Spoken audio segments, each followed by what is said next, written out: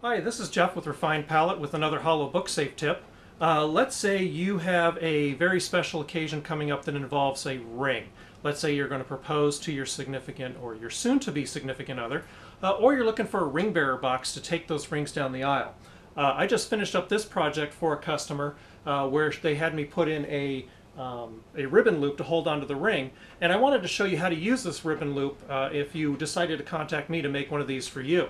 So let me show you right over here how you're going to go ahead and use this uh, ring loop.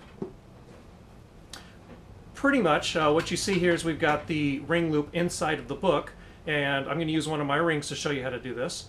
You take the ring and you place the, uh, the ribbon through the center of the ring, loop it, loop it up and around the ring itself uh, and then give it a little bit of a tug and the ring is now secure. And as you can see, it is inside the box. You wouldn't have to worry about losing it in some grass or sand or uh, be dropped out by your ring bearer as they come down the aisle.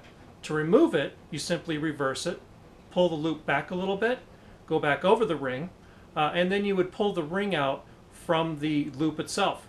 And there you go. So a quick, easy way to have a ring secure inside of a book for that proposal or as used as a ring bearer box. Um, and if you have any questions, uh, just contact me through the links down below. Uh, there's a wide selection of books available for uh, converting into these ring books from fairy themed books to, of course, we got Tom Sawyer here uh, and lots of other titles available. This is Jef with Refined Pallet with another quick uh, Hollow Book Safe tip. Till next time.